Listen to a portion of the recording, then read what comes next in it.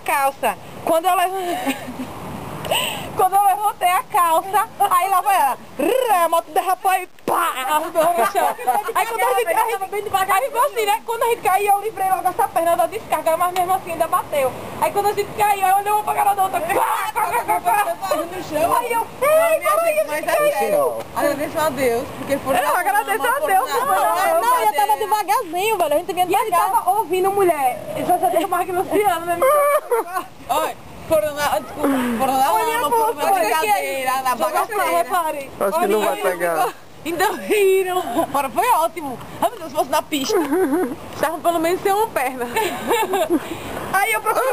Deixa eu ver se eu acho alguma coisa aqui perdida da minha bolsa. Que isso? Entrou no celular. Água não, foi barro mesmo que entrou.